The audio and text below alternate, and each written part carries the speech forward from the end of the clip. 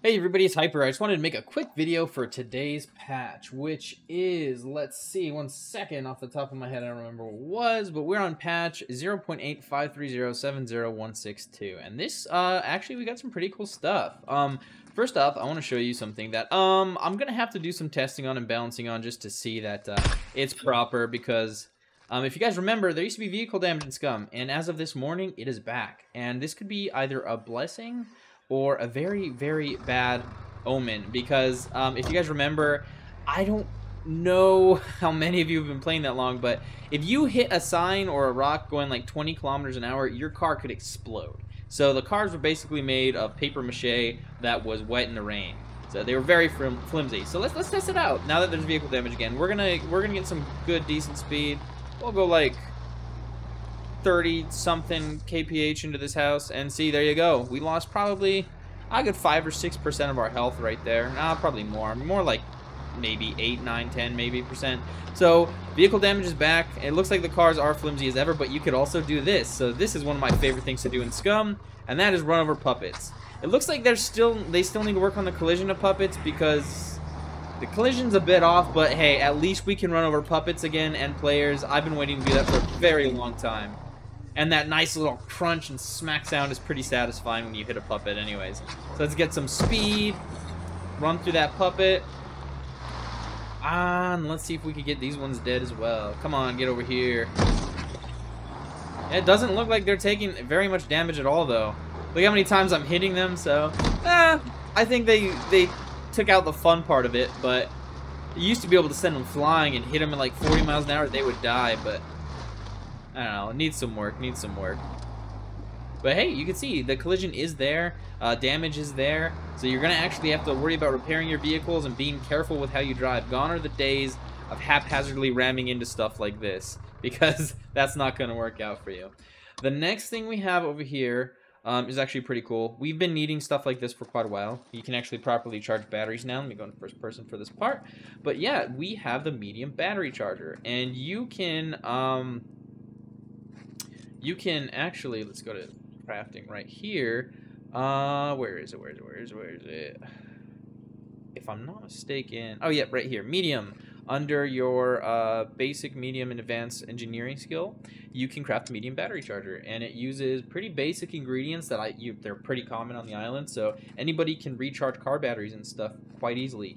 You just need a small generator, you need some gasoline to power the generator, turn the generator on, and then you open the inventory of the battery charger. You can grab your car battery and just pop that right in there, and then it'll give you a status fully charged. This one wasn't fully charged, but I accidentally fully charged it right before the video, so um, it'll tell you how many amps it has, like a negative symbol. Just pop it in there, and over time it will charge. Super cool. Glad they added that to the game. So now we have a way to charge batteries up we find in the world, which was something we needed for a very long time. The next thing we have is this. This is the improvised glass shiv. Super cool. You can craft it using, um, where is it? Right here. Uh, is it in medium? No, right here. Right next to the standard stone knife. You just need a glass bottle of some kind, some rags, and a crowbar or some other blunt object to smack it with, and you got yourself an improvised shiv. So, pretty cool stuff. Pretty cool stuff. Glad we have it. Let's see. Can it damage the car very well? No, I didn't want to do that. Uh, let's see. Does it damage the car very well? Car is at 80% health. Let's take this in hands. Can you destroy a car with a shiv? I'm sure you can pop the tires. No, not letting me pop the tires. Let me see. Can I... Huh, interesting. Yeah, it doesn't look like you damage a vehicle with it, but you definitely could put some hurt on some people or zombies. And uh, I think it does more damage than the standard knife, so that's pretty cool too. It's got those two blades right there, so this thing looks really gnarly. It's going to be a lot of fun to start using that survival worlds. Um, the last thing we have, I'm going to have to show you in first person again. This is burn gel and improvised burn gel. And as you guessed it, you can now catch fire in Scum. So let's uh, let's do a little experiment right here. Let's go see what happens when I walk into this fire. Let's see. And there you go. I'm not on fire just yet. Let's see. Will I catch fire? No, I didn't catch fire, but I probably should have burns. Let me see. Pain, feeling hot. Oh, understandable. And there you go, burn injuries. They're added.